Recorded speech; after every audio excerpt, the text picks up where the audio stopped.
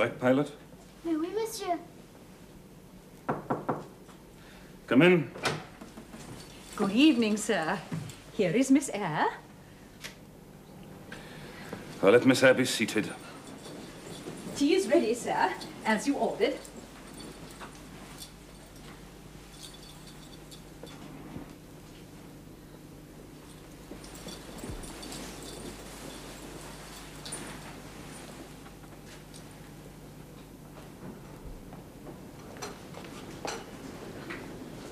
Adele, Miss Eyre, please come to the table. Oh, I am so sorry you had so much estate business, sir. I do wonder at your patience and perseverance in going on with it. Madam, I should like some tea. Oh, yes, of course, sir.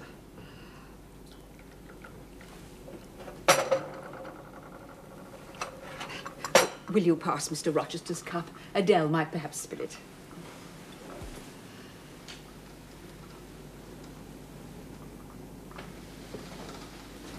Monsieur, have you a cadeau? A present from Mr. Eyre in your boxes?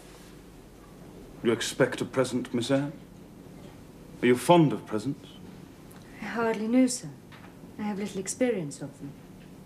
They are generally thought pleasant things. Generally thought. Well, what do you think?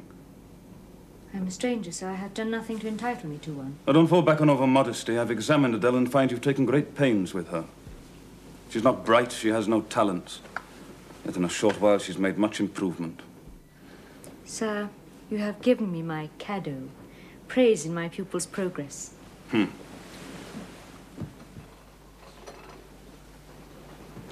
Eyre, come sit here by me.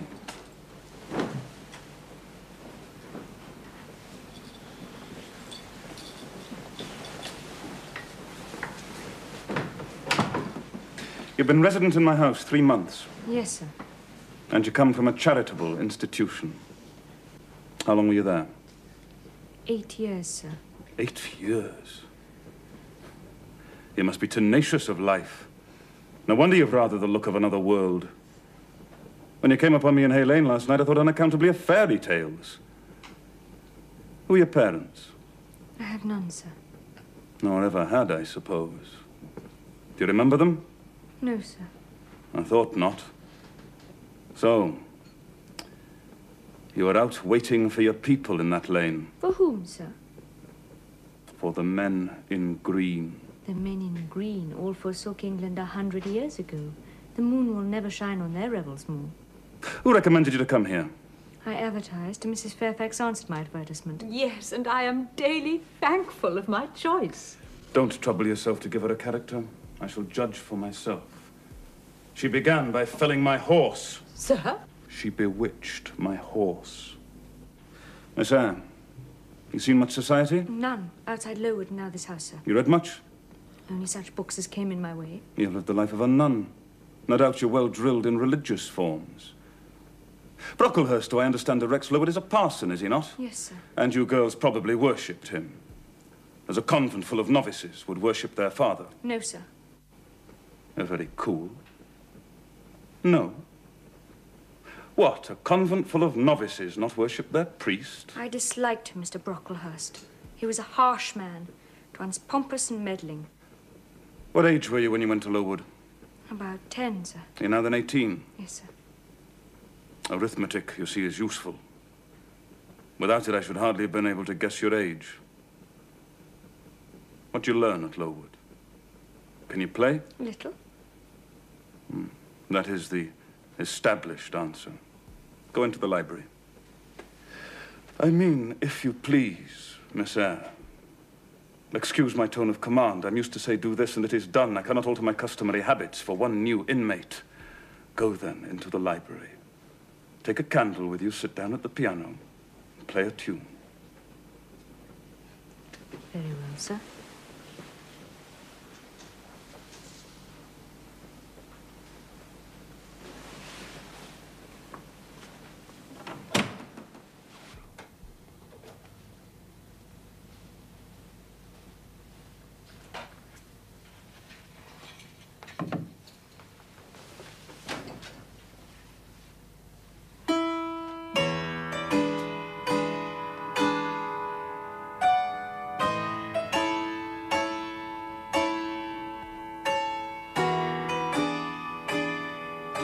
Enough!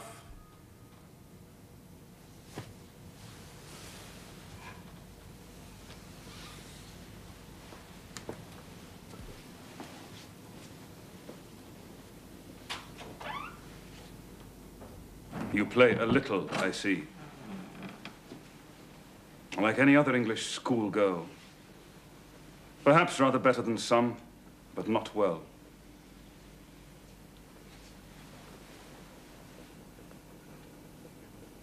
Adele showed me some sketches this morning, which she said were yours. They're on the table. Bring them.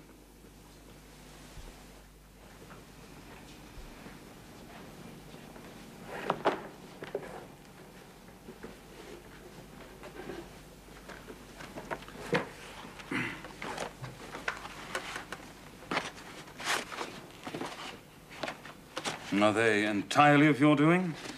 Probably a master aided you. Certainly not, sir. Ah. Hurts pride. Now, there are three in particular. Where'd you get your copies?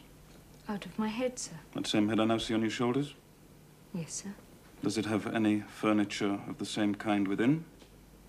I should think it may have. I hope better. Were you happy when you painted these? Painting those pictures was one of the keenest pleasures I've ever known. Well, that's not saying much. Your pleasures, by your own account, have been few. You've not enough of the artist's skill and science. Yet the drawings are, for a schoolgirl, peculiar. There. Put them away.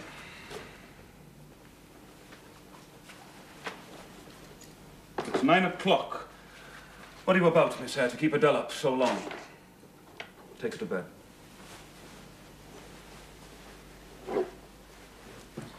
Bonne nuit, monsieur. I wish you all good night now. Good night, sir.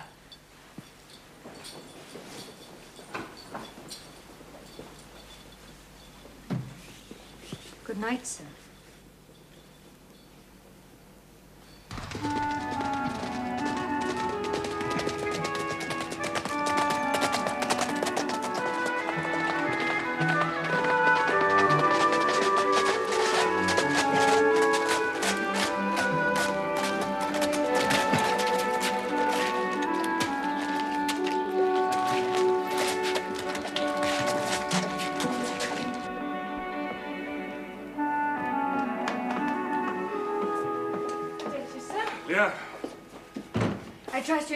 You enjoyed your ride, sir. I trust you've enjoyed your day, Miss Eyre. I have indeed, sir.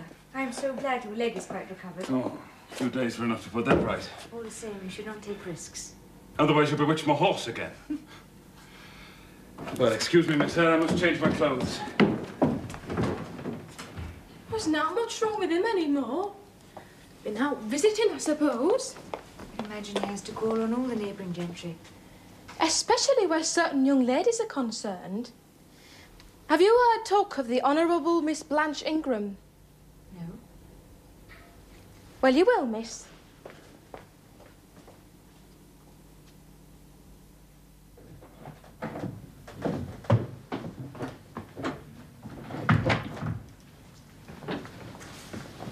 Morning, Mr. Rochester.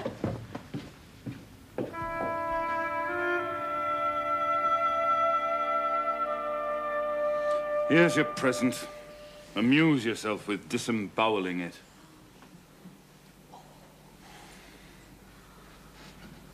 Is that Miss Eyre? You wish to see me, sir? Come forward, Miss Eyre. Be seated.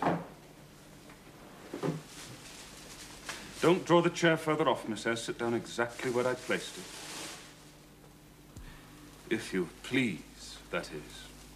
Confound these civilities, I'm always forgetting them. Oh, ciel, que c'est beau! Come, child.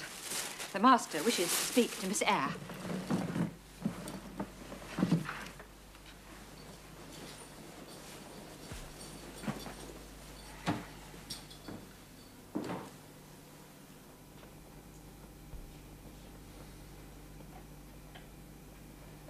You examine me, Miss Eyre, you find me handsome? No, sir.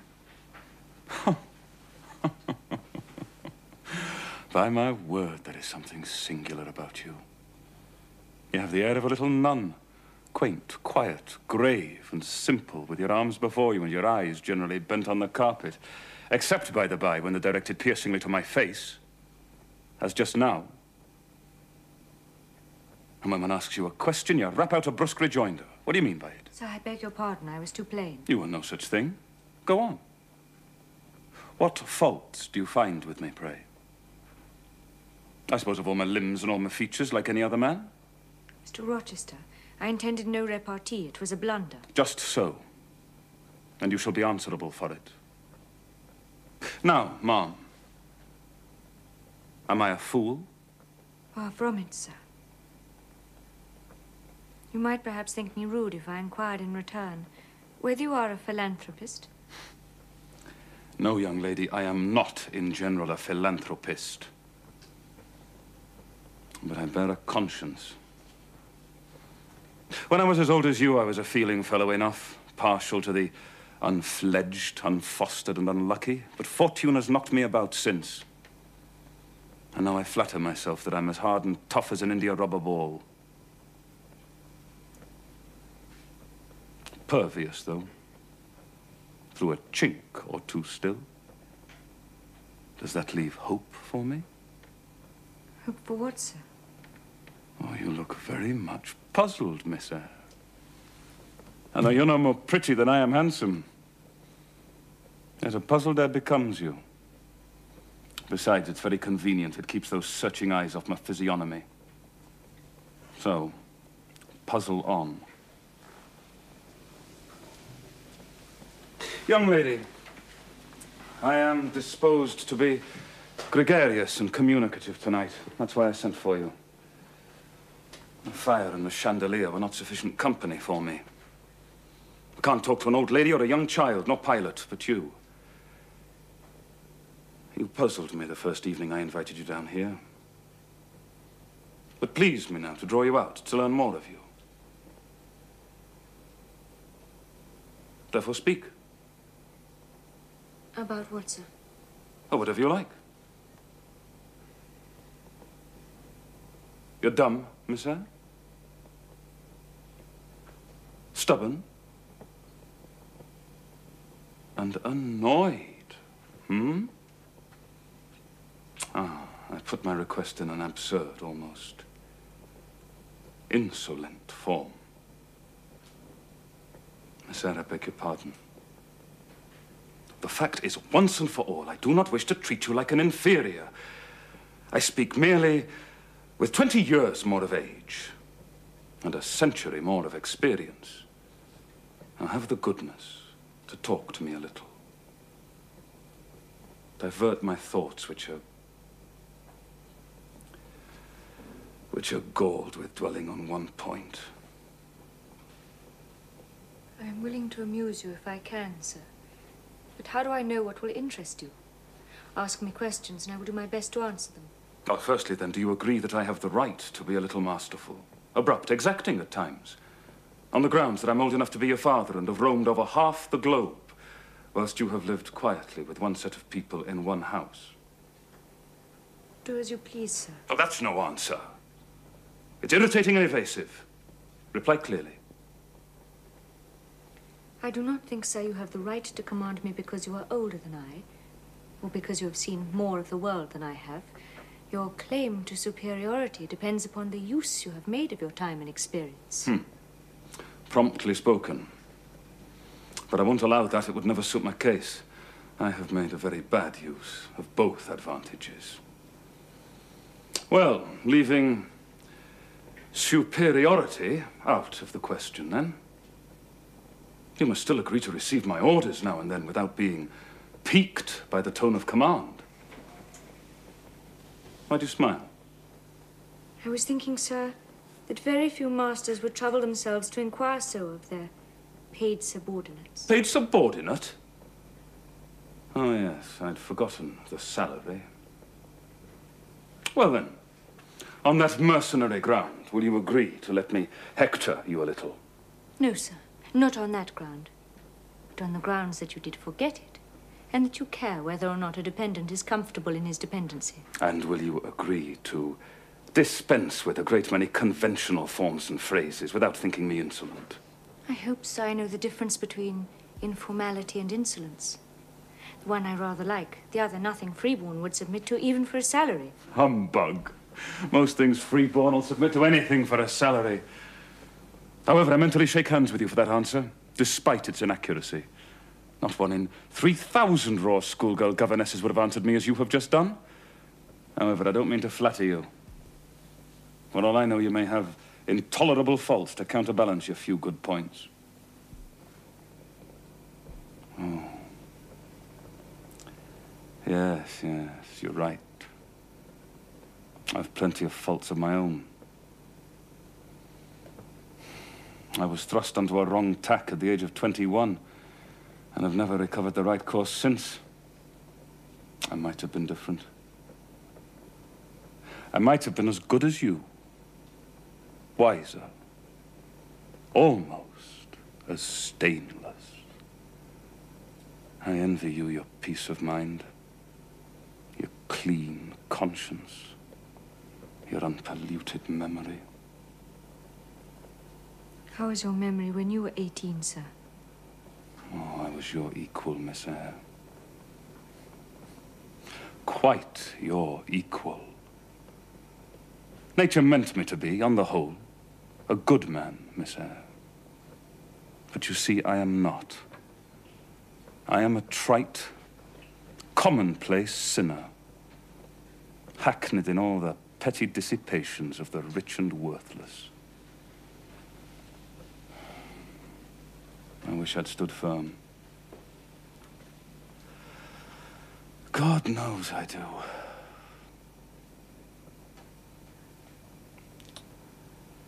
Dread remorse when you are tempted to err, Miss Eyre. Remorse is the poison of life.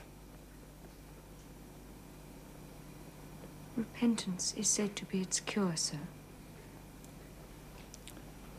It is not its cure. Reformation, maybe. I could reform, but what's the use? Hampered, burdened, cursed as I am. Besides, I have a right to get pleasure out of life, and I will get it, cost what it may. Then you will degenerate still further, sir. Why should I? If I can get sweet, fresh pleasure, and I may get it. As sweet and fresh as the wild honey the bee gathers on the moor.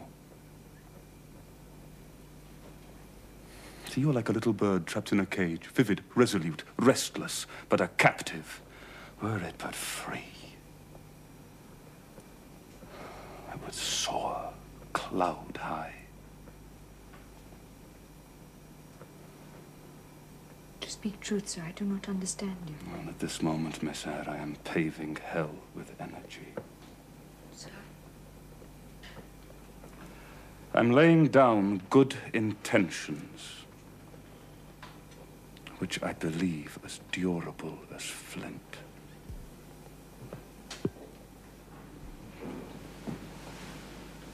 And you afraid of me because I talk like a sphinx? Your language is enigmatical, sir. Though I am bewildered, I am certainly not afraid. Voici, mademoiselle. Where are you going? To put Adele to bed. It is past her time. She's beautiful, is she not? A miniature of her mother. The little seductress. Sir? Never mind, I shall explain someday. Good night, Miss Anne. Good night, sir.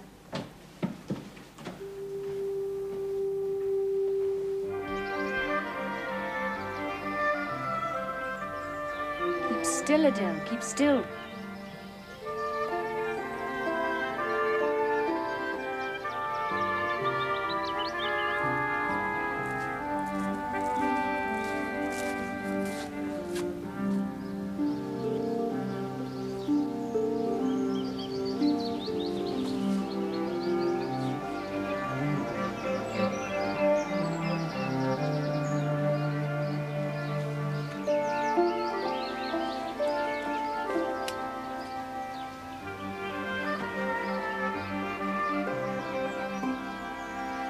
Se passe-t-il, mademoiselle Je commence à avoir froid. Let me rest for a moment, Adele.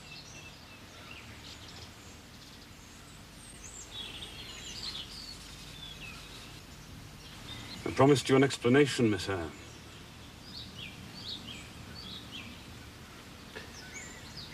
Your pupil, Adele, is the daughter of a French opera dancer, Celine Varens, for whom I once cherished a grande passion.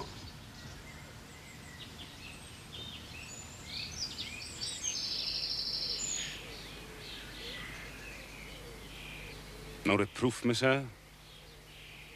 No moral homily? No, sir.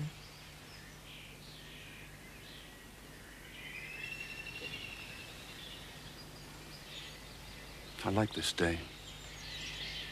I like this sky of steel. I like Thornfield. My home as it could be. Yet how long have I abhorred the very thought of it? Shunned it like a plague house. Feared it. Feared it, sir. I was speaking of Celine Varens. I called one evening when she didn't expect me and found her with another man. Mademoiselle, Thank you, Adele. pour vous. Go and read your book, child.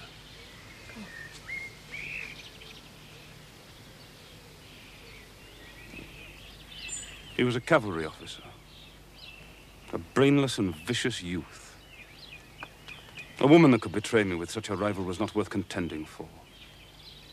I paid her off. You never felt jealousy, did you, Miss Eyre? No. Of course not. You never felt love. I'm so ignorant of the world. Perhaps I should have guessed at something of the sort.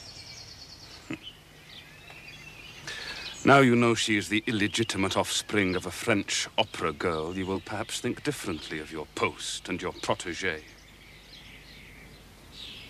You'll be coming to me with notice you intend to leave, that you've found another position, that you beg me to look out for a new governess, hmm? No, sir. Adele is not answerable for either her mother's faults or yours. I have a regard for her. Now that I know she is in a sense parentless, forsaken by her mother and disowned by you, sir, I will cling even closer to her than before. Sir? Mr. Barrow, the agent's here, sir. He said you wish to see him at once. Yes, I do. Put him in the library.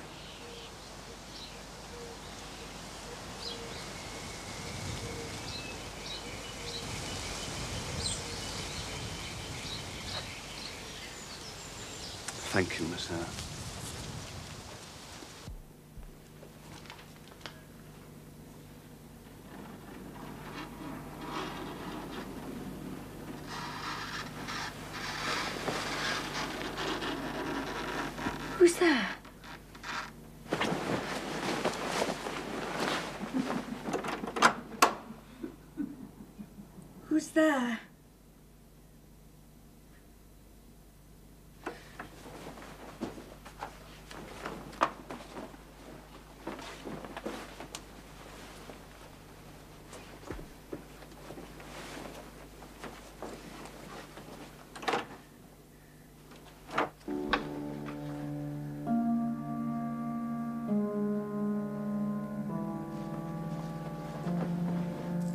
哈哈哈哈哈哈哈哈哈哈哈哈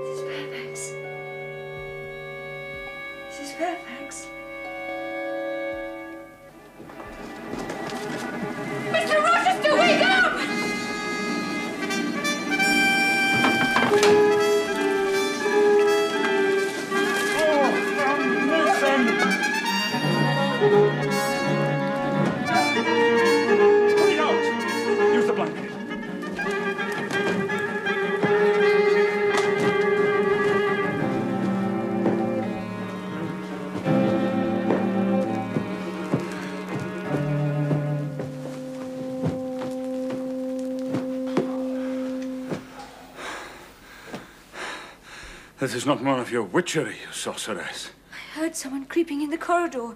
I heard a terrible laugh. Whoever it was set fire to your room and then fled through the door to the upper staircase. Shall I fetch Mrs. Fairfax? What the deuce for? What can she do before morning? Oh, Let her sleep. here, and John and- You will wake no one. Here.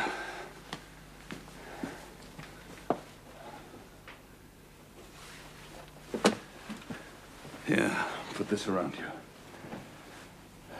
Sit there.